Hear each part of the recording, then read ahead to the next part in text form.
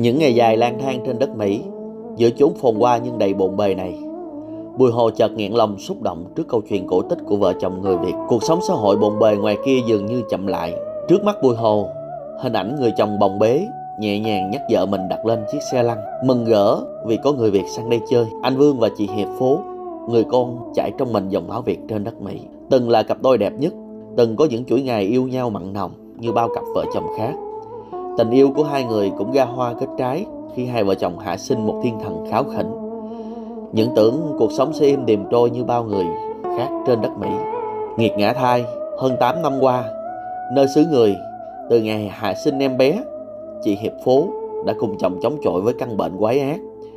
Những cơn đau quằn quại, những lần sống dở chết dở, chị như muốn buông xuôi cho số phận, nhưng vì con, vì chồng và vì quê hương mà chị đã chiến đấu đến hôm nay. Không về lại quê hương vì sức khỏe không cho phép, cuộc sống trở về còn bỏ ngỏ khi căn bệnh quái ác cứ mãi đeo bám lấy chị. Cũng may là còn anh Vương, anh lính hải quân Mỹ, vừa là chồng, vừa là cha, là chỗ dựa tinh thần, đã cùng chị chống chọi lấy lại mạng sống từ tay của tử thần. Cái nấc nghẹn ngào, những giọt nước mắt xa xứ. Ở Việt Nam, mỗi lần mà chị coi YouTube á, cảnh này cảnh nọ, người ta ăn này ăn nọ rồi chị rất là như buồn á, tại mình không có được đi á. Giọt nước mắt nhớ quê hương làm cho Bùi Hồ chạnh lòng hơn bao giờ hết. Vẫn còn đó muôn vàng khó khăn, vẫn còn đó nỗi khát khao trở về lại quê nhà. Cuộc gặp gỡ vội vã này cho Bùi Hồ và cả những người cảm nhận được gần tình cảm yêu thương hơn bao giờ hết. Chúng ta còn có sức khỏe, còn người thân và còn may mắn hơn rất nhiều người. Cầu mong cho vợ chồng anh Vương và chị Hiệp Phố có nhiều sức khỏe và mong rằng chị sẽ đủ niềm tin và nghị lực để chống chọi với căn bệnh quái ác này. Để ngày trở về lại quê hương đối với chị gần hơn bao giờ hết. Thấy em qua theo qua chị chị vui là vậy đó, tại vì mình mừng á mình mừng có người Việt Nam qua đây chị mừng lắm nha.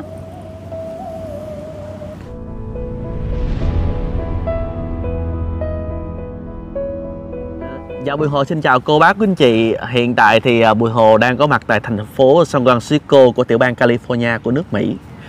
Có một câu chuyện mà khi đặt chân lên nước Mỹ thì Bùi Hồ phải chia sẻ cho cô bác quý anh chị về uh, cặp đôi vợ chồng son người Việt Nam đang sinh sống trên đất Mỹ này Đây là một cái câu chuyện mà chắc có lẽ là rất là xúc động mà để Bùi Hồ chia sẻ cho cô bác quý anh chị. Và bây giờ không nói nhiều nữa mời cô bác quý anh chị nghe câu chuyện về uh, anh và chị ha. Chị có thể nói là hiện nay uh, em với chị cùng anh đang có mặt ở tại đâu ha?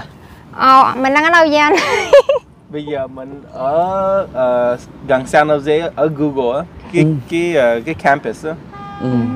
ờ, trước hết chào cả nhà chào kênh của em Bùi Hồ TV hình ảnh mà gây cho Bùi Hồ ờ, rất nhiều xúc động đó chính là hình ảnh anh Vương ẩm bế chị xuống chiếc xe. Ở và đôi vợ chồng của chị thì phải nói tình cảm rất, là tràn trề luôn. À, anh chị có thể cho em biết về cuộc gặp gỡ của anh và chị ở trên đất Mỹ như thế nào ha? Thì hồi lúc là quen nhau là ảnh học đại học ở UC Davis học theo ngành của microbiology là giống như ảnh làm ở bệnh viện ờ, cấp cứu 2 năm. Chị thì đang học ở tại thành phố San Francisco. Rồi quen nhau là quen trên mạng. Đó thì ờ, đó gặp nhau trên mạng rồi nó rồi hẹn nhau đi chơi nhẹ vậy đó. À, hiện nay thì anh bao nhiêu tuổi và chị bao nhiêu tuổi và làm cái công việc gì hả chị? À, ảnh thì là 30 à dạ ảnh 40 rồi. Ừ. 40 nhưng mà ảnh lúc nào cũng nói là ảnh 21 thôi à, ảnh không chịu 40 còn chị là 39 rồi dạ ảnh thì là làm lính Mỹ còn chị thì um, ở nhà Ừ.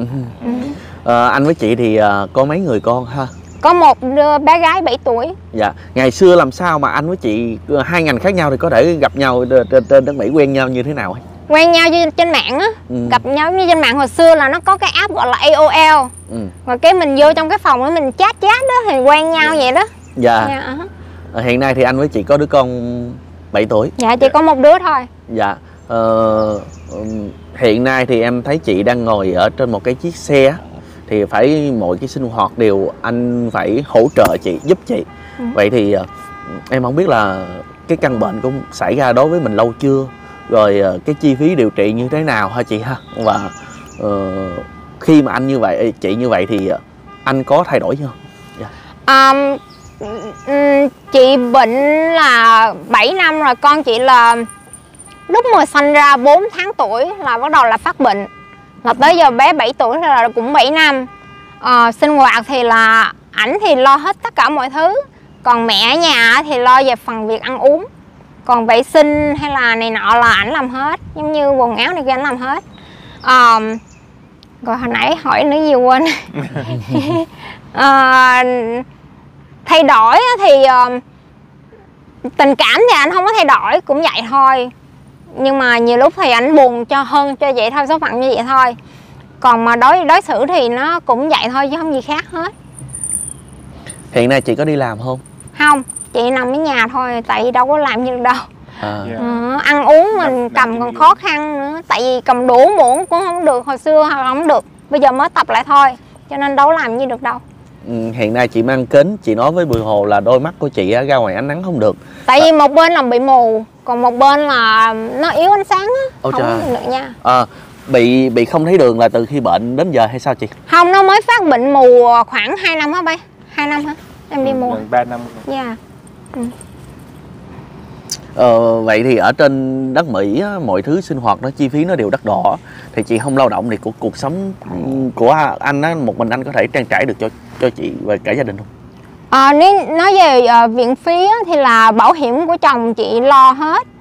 Còn mà chi phí ảnh thì ảnh lo được ảnh bao được tại vì ảnh ờ, gắng cố gắng làm á. Giống như mình làm bậc cấp lên bậc cấp bao nhiêu là tiền mình nó hơn hơn vậy đó. Thì ảnh gắng cố gắng anh thấy là cái nào làm có nhiều tiền hơn thì ảnh sẽ tranh đấu anh. làm cái đó để mà có được đủ số tiền để trang trải cho mình sống. Khi tỷ mình sống ở San Francisco thì mình mới coi coi mình làm cái gì cho để cho đủ tiền trang trải vậy Chị nói là ngày chị sinh em bé ra thì chị bệnh luôn. Thì cái căn bệnh đó là như thế nào? Chị có thể chia sẻ cho cô bác của chị được không? cái căn bệnh đó là nó là rất là mà rare tiếng việt là là giống như là khó là trên trên mỹ này hồi bữa coi là bốn case thôi nè? Bốn người. Dạ có bốn người ở Bốn người ở thôi. Ở bên á châu bệnh thôi. Mà hơi giống thôi chứ không phải là giống hệt như chị luôn. À, nghe nói là gắt lâu buồn có hai bé 11 tuổi không có qua khỏi phải mất. Còn chị là lucky sống sót à, bệnh của chị là giống như là nó những cái dây thần kinh hệ thống thần kinh của cơ thể mình nó là nó ăn hết luôn nó gọi là ăn cục hết luôn á. Cho nên dây, dây, hệ thống từ dưới chân lên tới đầu nó ăn cục hết luôn. Rồi mỗi một năm hay là một ngày nó ra được bao nhiêu anh hồi bữa sẽ nói bao nhiêu nó mọc lại. 1 millimeter. one millimeter nó mọc lại một ngày nghe không? Hay là một ngày? Một ngày nó mọc lại được nhiêu xíu thôi. Cho nên bây giờ 7 năm thì chắc là cầm đồ được cho nó mọc được đủ đủ cầm đồ thôi Ờ, 7 năm qua anh không những là một người kế cận bên chị mà là một cái chỗ dựa tinh thần của chị. Thì uh, chị thấy anh cái cuộc sống anh lo lắng cho chị như vậy đó thì uh, có khi nào chị cảm thấy mình mình mình hụt hẫng ừ, nhiều nhiều lắm không? Um, chị thấy anh giống như cực khổ quá. Rồi tương lai hồi xưa là hai vợ chồng lúc mà ừ, tại vì hai chồng á là cái gì cũng là plan giống như plan có con là anh phải là học lên tướng để mà tại vì muốn có cuộc sống là con em nó đòi cái đó là em phải có cái đó cho nó. Cho nên ảnh lúc đó anh làm giấy tờ ok anh lên tướng để anh có đủ nhiều điều kiện để nuôi vậy vậy đó. Thì có con xong rồi giấy tờ cũng đã vậy rồi rất là happy gia đình có đầy đủ chị mong ước có được con gái nữa. Rồi coi như là mọi thứ nó rất là màu đỏ màu hồng. Nhưng mà sau 4 tháng chị bệnh là coi như là dẹp hết. Ảnh phải nghỉ làm 2 năm ở lính Ừ. để về ờ, chăm sóc ở bệnh viện cho chị và nuôi con nữa rồi ờ, cũng cũng có gia đình có mẹ nhưng mà đa phần lớn là ảnh. Đó thì ờ, coi như là làm tướng của ảnh thì ước mơ nó tăng vỡ. Giờ chị thấy như vậy buồn quá rồi chị mới thấy thôi bây giờ anh ờ, cưới vợ khác đi. Ờ, cưới bạn gái khác đi cho nó tối ngày đuổi anh hoài vậy đó.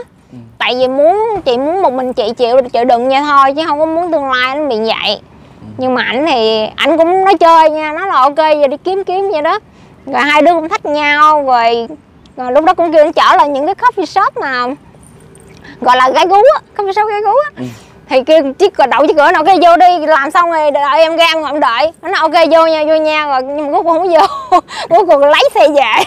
Ờ, nhưng mà vì sao chị lại có một cái tư duy nó, nó, nó, nó như vậy khi mà chị gọi anh là chở anh đến một cái nơi mà ờ, một người phụ nữ thương chồng thì không ai muốn chồng mình vô vô vô cái nơi đó tại vì chị thấy là làm bổn phận vợ nhiều khi mình cũng phải trao những cái thứ mình cần trao nhưng mà chị bệnh chị không có trao được.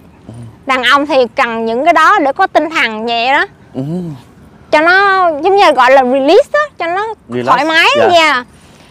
Ảnh thì hả chị với anh không có gần gũi được cho nên chị thấy cũng buồn với ảnh đó cho nên chị mới suy nghĩ là ok đi đi làm xong thì đi về vậy đó À, anh à, anh Vương thì nói chuyện tiếng tiếng Việt không có gành vì à, từ nhỏ thì anh Vương được sinh ra ở trên đất Mỹ này luôn và anh làm việc với lại tất cả các người Mỹ á Ừ. và cái môi trường của anh sống ở xung quanh nhà thì anh với chị sống là đa số là người à, Trung Mỹ. Quốc rồi Mỹ. người Mỹ thôi nên là nữ những cái tiếng Việt anh thì phải chị hiểu thông qua chị à, chị à, hiệp phố à, thì mới có thể trao đổi chị có thể hỏi anh à, ờ, khi mà chị bị bệnh như vậy thì có khi nào anh nản chí không anh hiểu cái đó không? Hay là Không translate? Ờ, like when I'm sick do you ever like think of like you know you like you're tired about it? You know like you you, you don't want to deal with me anymore stuff like that? That's called nản chí gọi là vậy á. Uh, tired, but I still, it's not. I don't want to deal with you. I still want to help you. giống như là chăm sóc chị là cũng mệt mỏi nhưng mà ảnh không có cái kiểu mà không muốn chăm sóc chị gì đó. Không có muốn là bỏ không chăm sóc gì nha, giống như là chăm sóc làm này kia thì cảm giác mệt mỏi vậy thôi nhưng mà nản chí này kia nọ là không có Ờ, chị hỏi anh à, thì anh lấy cái gì để làm động lực để mà ờ, trong 7 năm qua anh cố gắng ờ, ờ, kề vai sát cánh với chị để vượt qua những lúc bệnh tật như thế này oh what make make you have that strong mind hiểu không Ờ. yeah to continue you know for the past seven years taking care of me and all that Uh, what pushing you vợ, and then just think about it one day at a time. How do you say that in Vietnamese? ờ, thương vợ rồi suy nghĩ là mỗi ngày là mỗi cái khác để mà giống như mỗi ngày phải deal với cái đó đó. Yeah. Instead of thinking like long term. yeah. giống như ngày nào là tính theo ngày đó vậy đó Yeah. có bao giờ anh cảm thấy là vì mệt mỏi quá mình mình công việc thì lại rất là nhiều anh chỉ nghỉ được một ngày thứ bảy hoặc là chủ nhật thôi về nhà lại chăm sóc vợ bệnh bệnh thì có bao giờ mệt mỏi quá mình có ý định mình từ bỏ không yeah. Wait, I'm so tired. I want to leave you. yeah like forget about it give it up give up No, we're married for a reason. lại nói là mình đám cưới là cho có lý do đám cưới là như vậy giống như bệnh tật này kia nọ là phải vậy thường thường anh nói cái vào cái vào là hai người giống như đứng nói chuyện với nhau lúc mà đám cưới nó gọi cái vào á thì nó là đám cưới là đã thề rồi thì không có bỏ À, Ừ. cái ngày mà chị chở anh kêu anh là lấy vợ khác hoặc là ờ, chở anh đi đến một cái nơi gái gú á, thì ờ, cái cảm xúc của anh lúc đó nó như thế nào dạ. how you feel about it when I drive you there I don't know. you to go in Just lazy. Thì nó cảm xúc làm biến không vô Ờ, cảm xúc gì kỳ á tự nhiên làm biến không vô vô trọng đâu làm cái gì đâu ừm, Yeah. I don't know. hay là mắc cỡ hay là sợ I just feel lazy. That's all. ờ, cảm giác chỉ làm biến thôi không vô ờ, không cảm giác gì ngộ nha thiệt á em muốn biết luôn á Thì nhiều khi anh cũng không hiểu nữa. Yeah. Ờ, anh với chị có thường về Việt Nam không lúc mà quen nhau á, dắt anh về được mấy lần anh em dắt anh về được Hai ba lần. hai lần nha hai lần Ừ, ừ. Ờ, đối với anh chị đối với anh thì ờ, ở Việt Nam hiện nay như, như, những lần về thì cái cảm xúc của anh nó khác không và thấy Việt Nam có đẹp không nha Đẹp. Ồ, thích mà anh muốn retire Việt Nam mà ờ hả anh muốn nghỉ hưu Việt Nam nhà, mà Xong ờ, lúc nào đi làm xong á thì ờ, và tới đó một sáu tháng rồi này sáu tháng nha qua lại the 6 plan tháng đấy. nha Yeah. muốn mua nhà ở bển 6 tháng về đây 6 tháng vậy đó Yeah. Qua đó ăn chơi xong về đây. có nghĩa là qua đó để relax à, Dạ. rồi chơi của anh là du lịch rồi đó Yeah. du lịch đó. À, Go around like and then bay tới like Hong Kong and Thailand and uh, and then eat everything. Yeah. thích ăn thôi à, vì sao anh lại thích Việt Nam Ờ, Việt Nam đẹp với có nhiều đồ ăn á. thích đồ ăn thiệt bây giờ à, chị coi youtube á mỹ hay là ai cũng về nói là thích đồ ăn việt nam thích người con người việt nam rồi thích Dạ. cảnh rồi đó trời cảnh giờ đẹp quá ha Yeah, đúng rồi. Đúng. việt nam bây giờ công nhận nổi quá thiệt Ờ, Anh đã bao lâu rồi chị à? rất là proud nè hai chồng proud về Việt Nam mà xăm luôn đó là giống như là hãnh diện á hãnh diện mình là người Việt Nam đó À. cho nên hai vợ chồng xăm để vô đây luôn để vô tim luôn đó ồ yeah, đã bao lâu thì anh với chị chưa về thì cái lúc bệnh đó là, là lần cuối đó. rồi. nha tám năm 8 năm rồi chưa về Việt Nam. Ờ, cái căn bệnh của chị thì nó không về Việt Nam được hay là như thế nào? Nhớ là tại vì à, bệnh của chị là hay bị bắt gọi là bắt tử đó. Nó bị giặt mình bắt tử đó. Nên là cấp cứu. Nếu mà mình bệnh viện nhỏ Mỹ cũng không có cứu được chị. Phải vô những cái bệnh viện lớn. Chi phí điều trị cao không chị? Cao. À, lúc mà chị nằm viện bill nó gửi về cũng mấy triệu đô. Nhưng mà cũng nhờ bảo hiểm ảnh chứ không thôi bán nhà cũng bao nhiêu nhà cũng không đủ. Dạ. Dạ. Ừ. hiện nay thì anh với chị đã có nhà ngay tại San Francisco luôn rồi. Nhà có nhà. Nhà nó tốt đã có nhà nhưng mà cái kiểu là ba mẹ mua rồi mình là mình trả vậy đó. Ừ. ba mẹ đứng mua cái mình trả mỗi tháng vậy đó.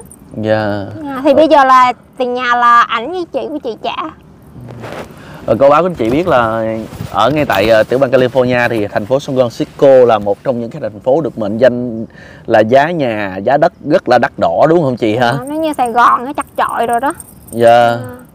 Ờ, và hở- khi mà Bùi Hồ đặt chân đến um, đến ờ, San Francisco thì ờ, chị có liên lạc với với Bùi Hồ.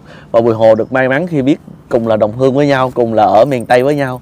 Mà uh, qua cái thông điệp này thì cô bác anh chị mới thấy được rằng á, mọi những cái mối tình gắn bó với nhau của anh và chị nó sẽ truyền cảm hứng cho rất là nhiều những cặp vợ chồng khác cũng như là những bạn khác đang đang đang yêu thương với nhau. Và đặc biệt hai người hai người Việt ba hiện nay Bùi Hồ đó là ba người Việt gặp nhau trên đất Mỹ ngay tại ngay tại ở đây là thung lũng Silicon đó chị ha? Thung lũng hoa vàng Dạ. Không? ta gọi thung lũng hoa vàng thung lũng hoa vàng à, em thì ờ, lần lần đầu em em sang Mỹ thì em không có biết nhiều về Mỹ.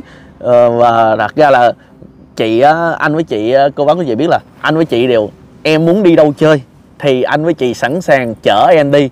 Và trong ngày hôm nay thì à, à, Bùi Hồ cùng với anh chị sẽ đi vòng vòng ngay tại San Jose và cũng như là San Francisco chia sẻ cho cô bác của chị.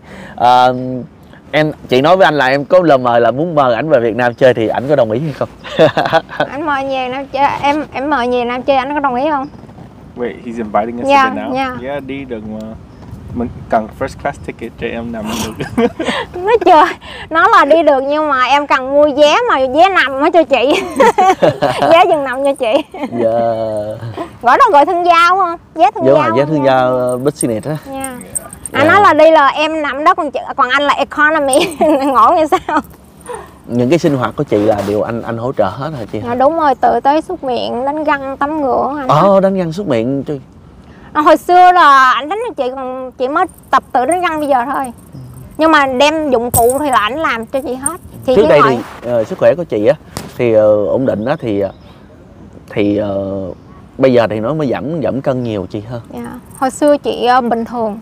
Còn bây giờ còn có 34 kg 34, 37 kg ừ. cái lần mà chị phát hiện mình bị bệnh á thì ờ, lúc lúc đó cái cái cái căn bệnh của mình là nó nó nó làm sao mình mình phát hiện cái căn bệnh? Tự nhiên là buổi sáng mình, như mọi ngày chị dắt chó đi đi tiểu tiện. Rồi sau đó tự nhiên cái chân nó nhức á. Chân nó nhức giống như là mình đi đâu mà mình mỏi giò vậy á. Cái chị mới nói ok hồi xưa giờ cũng bị hoài Chuyện nó bình thường. Xong cái Ủa nhức mà uống thuốc thì hết đúng không? Lần này chị uống thuốc không hết. Rồi sau đó cái nó nhức thêm Thì dần nó tăng cái độ nhức lên. Cái chị còn lại cái viên thuốc mà hồi xưa chị đi sinh sinh bé đó, Viên thuốc nhất người ta cho mình đó. Thì chị còn lại sót một viên, Chị mới, tại viên nó viên nó mạnh đó, Chị mới lấy viên nó uống. Không hết nhất luôn, Mà độ nhất nó càng tăng hơn nữa. Là chị coi như nằm trên giường cứ ôm cái chân là lăn tới lăn lui vậy nè. Lúc đó chồng chị làm ở San Diego, Là buổi thứ sáu. Thường thường là ảnh về là thứ sáu cuối tuần đó. Thì ảnh về tới nhà là khuya tối rồi. Thì mẹ chị nói là con phố nó nằm trong phòng Nó nhức giò nó ôm nó lăn trên giường nó chỏng á. Mày vô mày coi Mày chở đi bệnh viện. Là lúc đó anh chở chị đi bệnh viện. Ừ. Là vô chổng là mới đầu ta chỉ nói là bị ờ, nhiễm trùng đường tiểu vậy đó. Cho thuốc đem về Đem về đâu có hết đâu. Rồi nó còn ờ, Nó có dấu hiệu là Tiểu tiện nó tự là nó ra luôn. Chị không có làm gì hết tự nhiên chị nó không có ờ, control được không dạ có không có nha. Tự nó biết ra được luôn. không có biết được. Nha tự nó ra hoài vậy đó rồi anh mới chở đi bệnh viện cấp cứu lần nữa. Là lúc đó nhập viện luôn anh á. Nhập viện luôn rồi sau đó là cứ qua ngày sau đó là nó đi không được luôn tự nhiên hai chân nó giống như cọng bún vậy đó. Nó vậy nè. Chị muốn cầm cái gì chị quơ lên cái nó vậy nè. Nó, không có mình không có control nó được. Rồi cái đứng nó em mắc đái quá anh cái đứng gì ảnh dừ vô nhà tắm chị đi không có được cái chân chị nó cầm như cái sọ bún vậy á. Nó được mỗi lần mà chị dơ lên cái là nó bún vậy nè nó nó sao sao kỳ vậy anh sao kỳ vậy anh. Bắt đầu là hỏi bác sĩ thì bắt đầu từ từ nó ăn hết. Bắt đầu liệt luôn nằm nằm trên giường luôn. Và từ từ nó say qua ăn uống không được. Bắt đầu là truyền ống truyền thuốc. Um, truyền lúc đó là truyền bịch đồ ăn anh á nha truyền bịch đồ ăn rồi ống oxygen nó tóm lại là ở dưới ở đâu có ống lỗ rồi nó để ống hết. Nha. Là khó vậy đó là ảnh là từ từ ly từ tới lúc mà mà thương chồng cực nhất là lau chùi. Tại vì em tưởng tượng ở dưới nó ra hoài luôn. Mà y tá thì người ta không có làm tại người ta thấy có có chồng á là chồng chị mới cho thai. Em tưởng tượng mới cho thai quắn lại lau vậy xong xay qua bỏ thùng rác. Nó ra cái ào nữa cái xay qua quắn lại bỏ thùng rác. Xây qua cái ào nữa cứ nhiều hoài đó ảnh là tối ngày sáng đêm cứ vậy không? Cho nên thấy cực như vậy đó cho nên, cho nên sau này kêu ảnh đi có việc khác là vậy đó. À, 7 năm qua rồi. Ờ, anh gắn bó với chị không những là người chồng mà chỗ dựa tinh thần và thậm chí là những lúc khó khăn nhất. Thì uh, nó, em nói thật luôn là chắc hiếm có nhiều người làm được và đặc biệt ở trên đất Mỹ này nữa. Cái bệnh của chị là chị giúp ấp lâu rồi. Coi như là chị chị chị thấy là chị không có bệnh không có khỏi nữa. Chị bỏ cái idea là mình khỏi rồi. Chị không suy nghĩ mình khỏi nữa chị chấp nhận là như vậy ảnh thì lúc nào anh cũng hy vọng. Tới giờ anh vẫn còn hy vọng, anh không có give up. Anh cũng tìm bác sĩ, tìm tòi rồi cái này cái kia nó tóm lại là ảnh ngày nào cũng tìm tòi vậy đó. Tới chị là chị là chị thấy chị xong rồi đó, còn ảnh thì ảnh không có chấp nhận như vậy, ảnh vẫn tiếp tục. Cho nên rồi chị chỉ nó giống như cảm giác của chị, bây giờ chị chỉ ngồi đây chị đợi một ngày nào đó ảnh bỏ chị thôi. Tại vì chị chấp nhận chị ngồi xe lăn thời gian dài anh chịu không nổi anh bỏ chị đi thôi.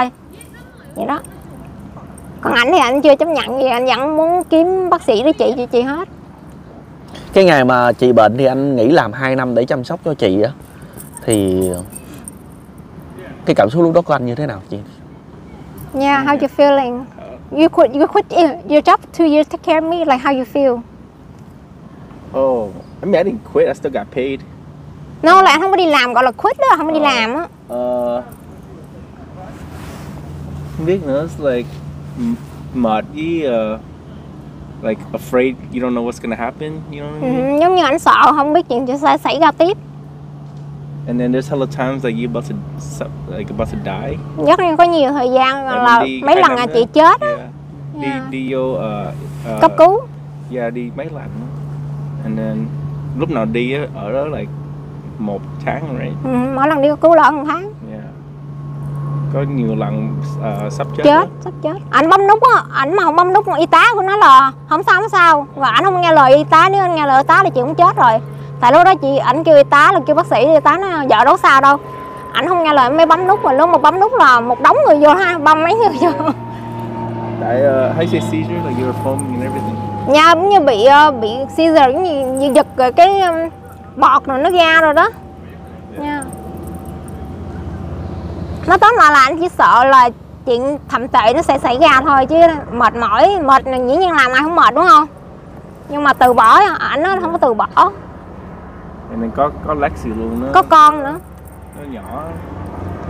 Mình không có không có em, you know, thấy buồn. ừ. Nó lớn lên like a baby không có um, không có mẹ không có mẹ, like không có bú sữa, and không có like anything, you know, ừ. all the mom stuff. yeah. À, Bường Hồ phải chia sẻ như thế này cô anh chị. Thật ra là gặp chuyện tình anh của chị trên đất Mỹ này á gặp được anh chị là điều may mắn rồi. Ừ, anh chị là hướng dẫn viên tour guide thực thụ của cho Bùi Hồ ngay tại đây.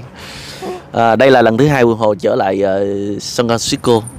Ờ, lần thứ nhất thì không có duyên gặp anh chị. Lần thứ hai không biết cái duyên hữu duyên làm sao gặp anh chị. Và chắc có lẽ là cái câu chuyện này nó sẽ mang đến cho cô bác của chị nhiều nguồn cảm hứng khác nữa và đó là một cái động lực cho mọi người có thể cùng nhau cố gắng vượt qua. Và Bùi Hồ hứa với cô bác anh chị là cũng sẽ đồng hành với chị sẽ trải qua những cái cuộc hành trình đầy uh, hứng thú. hứng thú trên trên trên đất Mỹ này. À, đã 8 năm rồi chị không về Việt Nam cũng như là những người ở Việt Nam người thân của chị ở Việt Nam. Thì chị có muốn nói lời nào đối với người thân của mình ngay tại Việt Nam không? Không những người thân mà giống như đất nước đồ đó. Dạ. mình là người người con mà đẻ ở đó mà. Đi đâu thì cũng là con của đất Việt. À, thật sự nhớ lắm nhắc tới là thật sự chị đang cái gương nước mắt chị muốn khóc lắm tại vì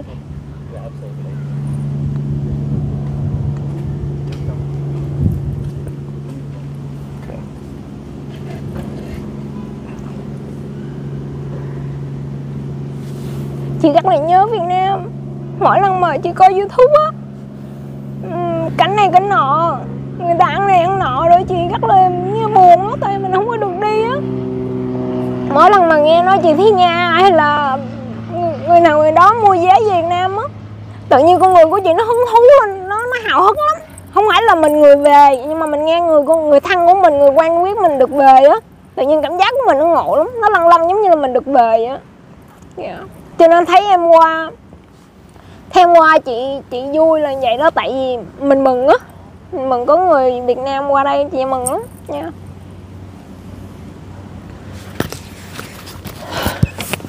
Vừa Hồ cũng muốn chành lòng chảy nước mắt. Một người con xứ Việt, người, Một người con nước Việt Cũng xa xứ là 8 năm rồi Muốn trở về.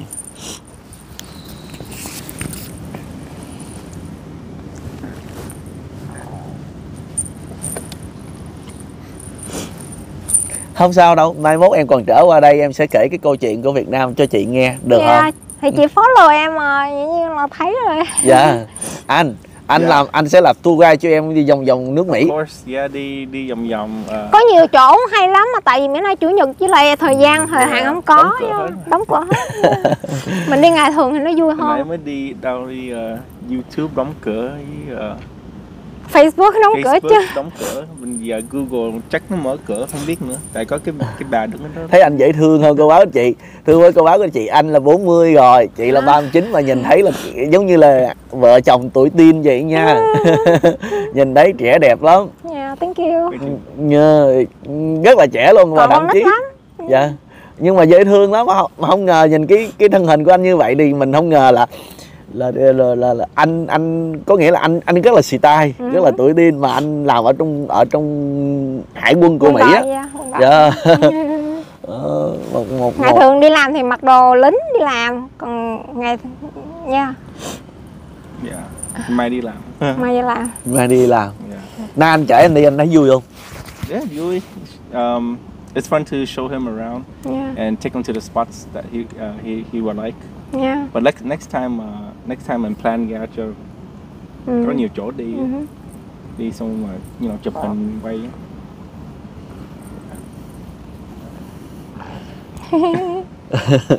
trời ơi mười coi ở chung nhau 20 năm rồi phải không 20 năm tiếng Dạ. Việt cũng không tới đâu hết 20 năm.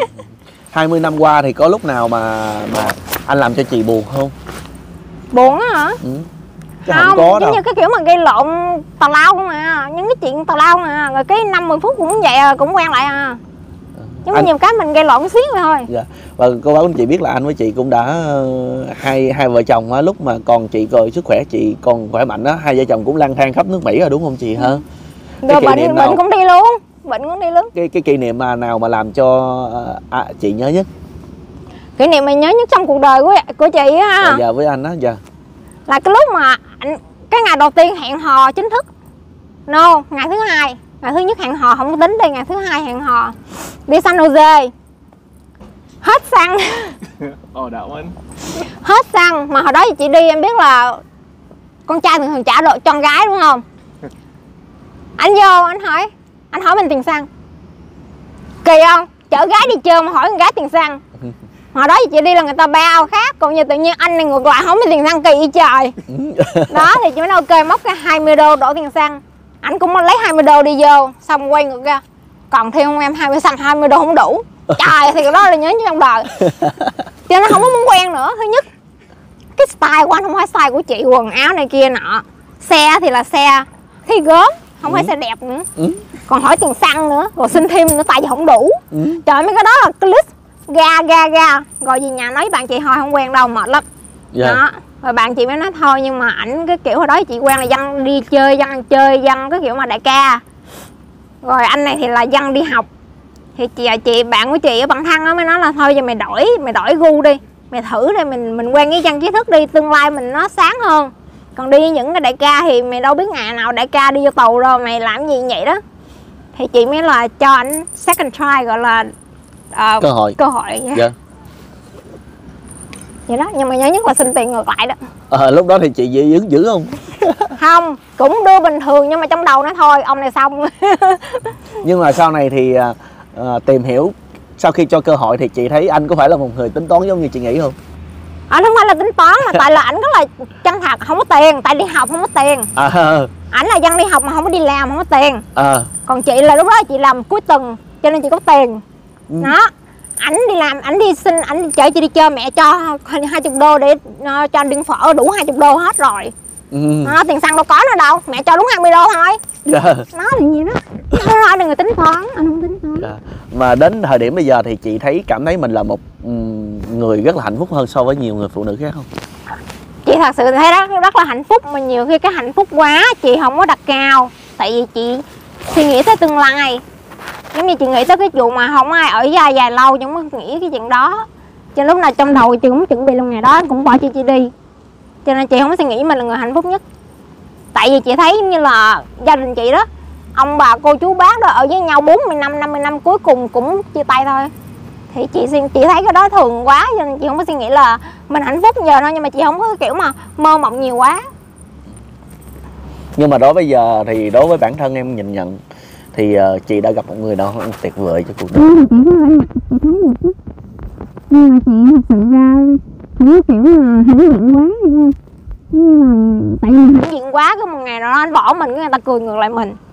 Nó chị chân chị tâm lý là ai mà khen Ôi em hạnh phúc quá. Đi nọ Chị chỉ thấy là ok dạ cảm ơn Cái kiểu Cái kiểu Ồ dân mình hạnh phúc mà gì không có vậy. Ờ, trong 20 năm chung sống với nhau có với nhau người con hơn 7 tuổi rồi. Đó là cái kết cái kết tinh về tình yêu của anh và chị. Và ờ, thậm chí là chị có kể cho em nghe cái câu chuyện là ờ, đã có những người vượt qua không khỏi. Nhưng mà nhờ cái cái tình yêu của anh dành cho chị nè nhờ cái động lực của anh và nhờ cái ờ, tình yêu chắc có lẽ là sự ờ, ông trời ông cũng có mắt để cho, cho thấy chị với chị anh với chị gắn bó nhau đến thời điểm này đúng không chị? Và ờ, em em em chia sẻ thêm tí xíu về câu bệnh bệnh của chị ha. Thì bác sĩ có nói là bệnh của chị ờ, có thể điều trị khỏi không và như thế nào? Họ bây giờ họ chọn không có, có câu trả lời. Không giống như là chị đi cấp cứu tới đâu người ta chỉ tới đó thôi nhưng mà chị bệnh chị là không có phương thuốc để trị. Tại vì chị nghĩ nó nghĩ chị thấy giáo viên chuyện ra đúng không? Chỉ có bốn hay rồi bốn trường hợp thôi. Thì nghĩ nó nó mong manh quá. Nha. Cho nên bây giờ giống như bác sĩ giờ tới đâu thì tới đó thôi. Ờ, anh um, à, anh Vương đây thì ờ, coi như là ờ, trước giờ thì cũng thường về Việt Nam nhưng mà anh là anh là được sinh ra ngay tại Mỹ luôn nên nói tiếng Việt không gành nên mong cô bác của anh chị là sẽ nghe chị nói hơn. Chị phố nói nói nhiều hơn tí xíu. Chị nói nhắn với nói với anh anh anh Vương giùm em là à, cảm ơn anh Vương rất là nhiều đã cho cô bác của anh chị thấy một cái câu chuyện tình yêu cổ tích giữa đời thật nè. rồi cái thứ hai là ờ, đối với em thì anh là một người đàn ông rất là ờ, mẫu mực ờ, một người người người chồng thương vợ Ờ, ờ, tuyệt vời nói với anh rất là đẹp Hiểu trai không? luôn chứ hiểu chứ dạ Yeah. anh có muốn nói là gì đối với đối với ờ, ờ, những người bạn ở Việt Nam cũng như là cô bác chị đang sống ở Việt Nam I anh want to say anything to people now like our family and stuff Oh yes. Uh, hello. yeah. Uh, I hope everyone's not how do you say. Hope everyone's doing okay.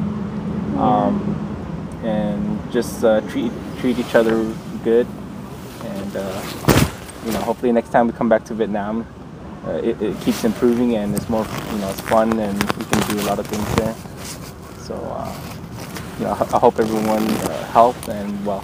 Dạ, chúc mọi người sức khỏe, chúc mọi người làm ờ, tốt này kia nọ nên rồi mai mốt ảnh về um, sẽ hopefully sẽ giống như mai mốt về sẽ có một cái tương lai tốt hơn rồi, chúc nói tóm lại là mọi người sức khỏe là anh thích anh thích vậy đó rồi mai mốt chị về thì chị sẽ khỏe mạnh về để thăm thăm nước thôi. Mai mốt về anh với chị thì phải nhất định phải ghé nhà em. Dĩ nhiên rồi dĩ nhiên rồi dĩ nhiên rồi cái đó là cái chắc chắn rồi. Dạ. tại vì chị không có biết đồng tháp chị cũng phải đi đồng tháp để để coi. Một cái câu chuyện rất là hữu duyên cô báo với anh chị biết là ở nước Mỹ thì nó rất là rộng lớn ngay cả một cái tiểu bang California thôi cũng đã lớn hơn diện tích đã lớn hơn Việt Nam rồi nhưng mà ờ, ở một cái không gian như thế này mà ba người Việt Nam ngồi với nhau chia sẻ cái câu chuyện người Việt trên đất Mỹ thì nó là nó là một cái câu chuyện gì nó nó, nó rất là hữu duyên đúng không đúng không đúng không chị? À, và ngày hôm nay thì chia sẻ cái câu chuyện này nè và Bùi Hồ cùng với anh chị và sẽ có một cái hành trình ngắn ngày thôi nhưng mà đó là một cái hành trình một cái nhật ký rất là tuyệt vời trên kênh của Bùi Không Hồ cũng như là cùng với gia đình anh anh Vương với lại chị chị Hè phố. Thôi thì bây giờ cũng trưa rồi cái anh em sẽ đi đi chụp hình ngay tại chỗ này tí xíu và cũng sẽ đi thưởng thức những món ăn cùng với gia đình của anh và chị ha. Dạ, em hồi bữa nay hẹn đúng cái ngày là kỷ niệm ờ, qua Mỹ luôn 27 năm. 27 năm. Nha, ngày 22 nè. Dạ. Vui á dạ. Xin chào Việt Nam anh Vương ơi. Yeah, xin chào. Ờ, ờ, Cảm ơn cả nhà. Ờ, Chúc cả nhà thật là nhiều sức khỏe. Và nếu nhà chưa đăng ký kênh của anh Bùi Hồ TV Thì nhớ đăng ký đi nha. Yeah. dạ bây Subscribe. gai.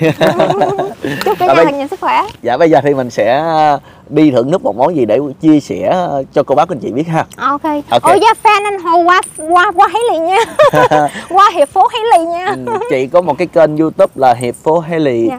Ờ, đó là một cái kênh youtube mục đích không phải là kiếm tiền mà chia sẻ về những cái kỷ niệm của Thường chị. ngày Ờ, anh và chị hàng ngày trên trên kênh thôi. Cô bác anh chị có thể qua đó để mà subscribe để cho cho có Coi cho vui thôi. à, nó qua cho vui thôi chứ không có đó nó không phải là Dạ. kiếm tiền gì hết Dạ. đó dạ. Cảm ơn cả nhà. Dạ. Come on. ok